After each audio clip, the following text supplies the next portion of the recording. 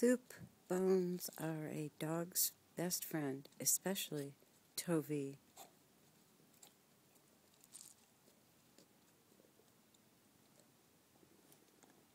Don't you agree, Uzi?